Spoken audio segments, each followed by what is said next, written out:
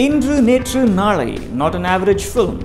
A scientist invents a time machine and sends it back in time to 2015.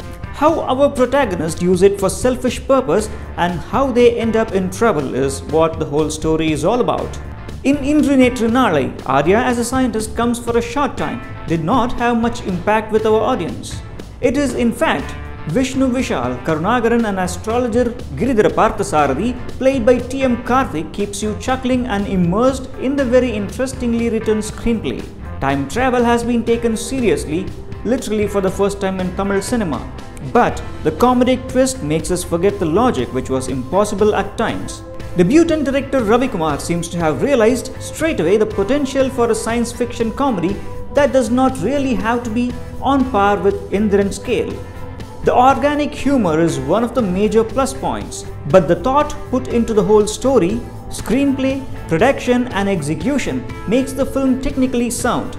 So feel free to watch Indru Netru Naalai and tell us what you think. Till then, keep tuned to eBuzz for hot and happening Kollywood infotainments.